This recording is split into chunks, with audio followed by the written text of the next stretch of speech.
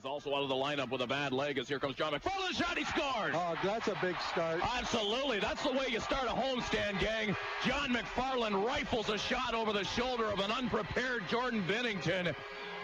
And John McFarland pots his 20th of the season and 14th as a member of the Saginaw Spirit. As Wilson cut down to leg and Siska has the puck. A few strides over the Owen Sound line. He threw it in front and it was intercepted by Heelis. Heelis trying to turn Uh-oh. it into a breakaway. Heelis in on top of the goaltender. He scores! Liam Heelis found himself with an opportunity to turn on the afterburners. He walked in on Mavric Parks and tucked a backhander over the outstretched Saginaw goaltender. We're tied at a goal apiece. And that will be a shorthanded goal for the Owen Sound attack. And with that, the Owen Sound attack now have 16 shorthanded goals on the season, which matches the league high occupied by the Saginaw Spirit, also with 16 on the season. So a big goal for the attack coming off the stick of the veteran Heelis. Our media room really, really has become a bit of a jewel here at the Dow Event Center in terms of the food preparation. They Oh. score! The Owen Sound attack have taken a lead. Bobby Mignardi, now known as Robby Mignardi, picked up the loose puck in front of Mavric Parks and he just gave it a little push over the line. Now Blacker plays it ahead to Shaw. Shaw just deflects the puck into the Spirit zone, and Sherrod is back in behind his own net. He took a hit there from Shaw, withstands that. As it's back to the line of shot there by Gilbert. Look out, they score! About a four hopper from the blue line. Doesn't that figure? As the attack get a shot from the blue line that pinballed its way towards Mavric Parks, took a bounce or two or three, and went over the outstretched arm of Mavric Parks. Prout carries on. He plays it in behind the net to Telegin, who surveys there as he's being bothered on the checking of a cutting.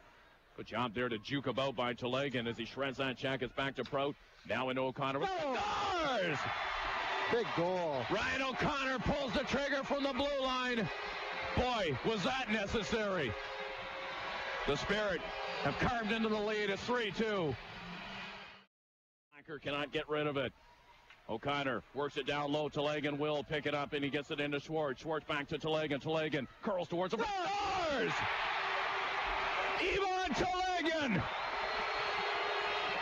And Ivan Telegin walked in on top of Binnington. A little shot that leaked through the legs. 3-3. And the fans are going nuts. Looking for that additional point in here tonight against the Owen Sound attack. A shot there by cutting in front. It's oh fabulous save by Parks on a deflection in front. As he comes up with the goods there right in the nick of time. Mavric Parks turns in a beauty right there in close. In behind the net, Shaw has the puck looking uh, to uh, make a break towards the front. He can't do it. Here comes Trocheck. He's got Saad with him. Saad fades to the outside on Blacker. Brandon Saad taken into the boards rather vigorously by Blacker. He handles that admirably. And shot score! Great play by Saad. Oh, Brandon Saad fought off a check and spotted O'Connor. This is an enormous statement by the Saginaw Spirit. Dead and gone? I don't think so. 4-3, they win it in overtime. Back to wrap it up after this as the fans go nuts here at the Dow Event Center. You want to talk about a big win? Mark this one on your calendar, folks.